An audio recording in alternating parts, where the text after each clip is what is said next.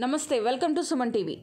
హఠాత్తుగా కుంగిపోయిన భూమిలో కార్లు కూరుకుపోయాయి. ఎందుకిలా? టెక్నాలజీ యుగంలో మనిషి జీవితంలో పెను మార్పులు చోటు చేసుకున్నాయి. ఒక రకంగా ఇవి ప్రకృతి విపత్తులకు కారణమవుతున్నాయి. ప్లాస్టిక్ వాడకం నీటి కాలుష్యం పర్యావరణ కాలుష్యం వాతావరణ కాలుష్యం ఇతర కారణాలన్నీ ప్రకృతి సమతుల్యతను దెబ్బతీసి అకాల వాతావరణానికి కారణాలుగా మారుతున్నాయి. పెను మార్పులకు తావిస్తున్నాయి. ఇన్నాళ్ళు మనం ప్రకృతి వనరుల్ని నాశనం చేయడంలో బిజీగా ఉంటే ఇప్పుడు ప్రకృతి మన మీద పగ తీర్చుకోవడానికి తీరిక లేకుండా కృషి చేస్తోంది. ఇటీవల మెక్సికోలో అకస్మాత్తుగా భూమి కుంగిపోవడంతో ఫుట్బాల్ మైదానం అంతా గొయ్యి పడింది. జెరూసలంలోని ఓ హాస్పిటల్ వద్ద కూడా ఇలాంటి ఘటన చోటు చేసుకుంది. షారీ జదక్ మెడికల్ సెంటర్లోని పార్కింగ్ స్థలంలోని భూమి ఒక్కసారిగా కృంగిపోయింది. దీంతో అక్కడ పార్క్ చేసిన నాలుగు కార్లు భారీ గుంతలో పడిపోయాయి.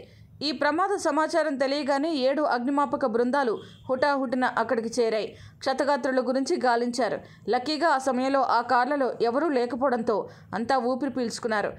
వారం రోజుల కిందట మెక్సికోలోని ప్యూబ్లా రాష్ట్రంలోని ఓ వ్యవసాయ క్షేత్రంలో మూడు వందల అడుగుల విస్తీర్ణంలో భూమి కుంగిపోయింది.